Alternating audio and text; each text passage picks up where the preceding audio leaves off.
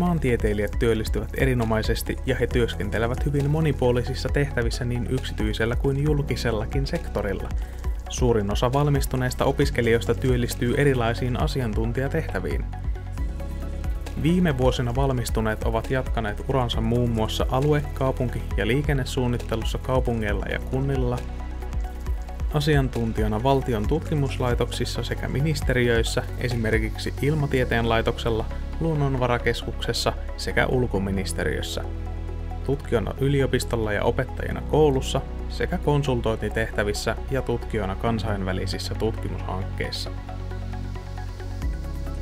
Seuraavaksi kuulemme kolmelta maantieteilijältä tarkemmin, mitä heidän työnsä pitää sisällään.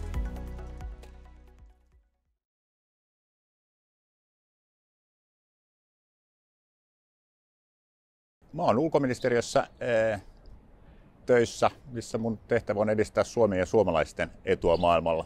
Siinä tulee tietenkin joka päivä erilaisia ajankohtaisia ilmiöitä ja kysymyksiä vastaan.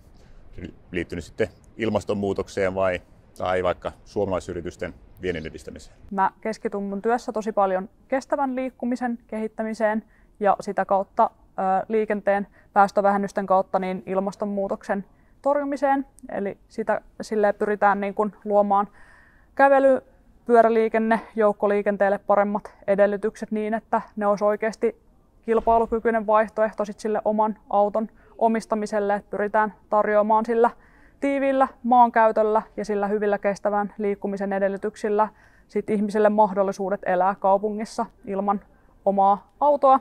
Ja sitten toisaalta niin myöskin kaupungin elinvoimaisuus kytkeytyy sille melko suoraan mun töihin. Mä tutkin pohjoisten alueiden metsien, soiden ja tundran hiilenkiertoa. Ja käytännössä on kiinnostunut siitä, että minkä suuruisia hiilinieluja näillä alueilla löytyy, kun katsotaan ihan koko, koko pohjoista pallonpuoliskoa. Sitten myös olen kiinnostunut siitä, että miten nämä hiilinielut muuttuu kun ilmasto muuttuu ja sitten, mitkä tekijät säätelee hiilinielujen voimakkuutta. Ja viime vuosina sitten on erityisen kiinnostunut ollut ikiroudan roolista, eli siitä, että kun ikirouta sulaa, kun ilmasto lämpenee pohjoisilla alueilla, niin minkälaisia hiilipäästöjä sen myötä syntyy.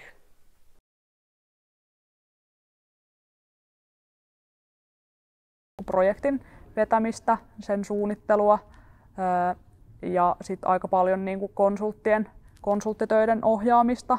Ja mä oon tehnyt esimerkiksi kävelyn edistämisohjelmaa ja nyt sitten me tehdään tota keskustan liikennejärjestelmäsuunnitelmaa, niin paljon semmoista strategisen tason suunnittelua ja sitten mun töihin kuuluu myös aika paljon erilaisten niin kuin, tapahtumien ja työpajojen järjestämistä ja niin kuin sellaista sidosryhmäyhteistyötä, missä sitten pyritään muodostamaan sellaista yhteistä tahtotilaa niiden asioiden ympärille, että kaupunkisuunnittelussa kuitenkin tosi paljon just se on sitä vuorovaikutusta eri ihmisten välillä.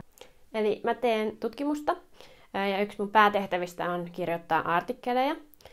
Eli käytännössä datan keruuseen menee aika paljon aikaa.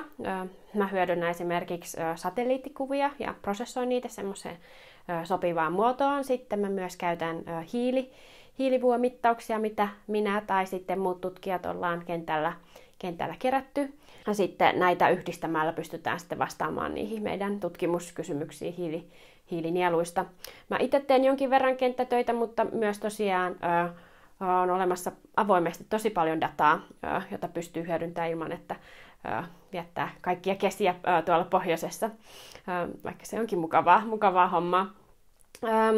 Sitten tämän lisäksi siihen kirjoitustyöhön menee, menee aika paljon aikaa lukemiseen. Se on ihan parhainta hommaa, kun pääsee artikkeleja seuraamaan, seuraamaan ja katsoa, että mitä, mitä tieteessä tapahtuu.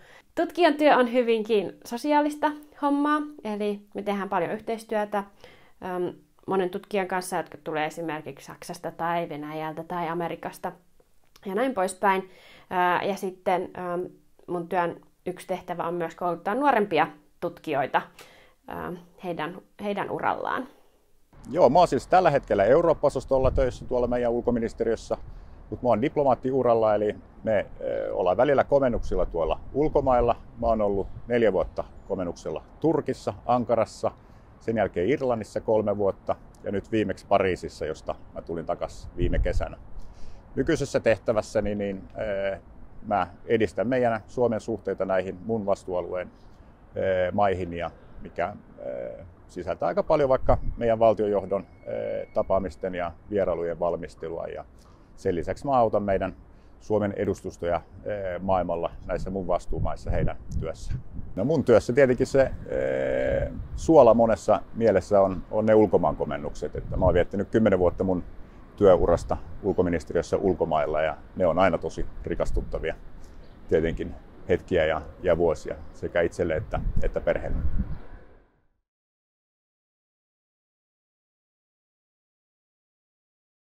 No kyllä mä palaan tähän niin syy-seuraussuhteisiin ja laajoihin kokonaisuuksiin. Mä ajattelen, että maantieteilijä on ehkä luonteeltaan aika, aika utelias maailmalle ja ehkä niin kuin kulttuurisensitiivinenkin ja, ja muuta, niin kyllä varmaan niistä asioista on eniten hyötyä. Jos mä ajattelen omaa työtäni ja vaikka niin kuin suuria kansainvälisiä kysymyksiä, ilmastonmuutosta, geopolitiikkaa, muuttoliikevirtoja tai vaikka kehityskysymyksiä, niin nämähän kaikki linkittyy tosi tiiviisti maantieteeseen ja niistä on kyllä ollut paljon hyötyä mulle työelämässä.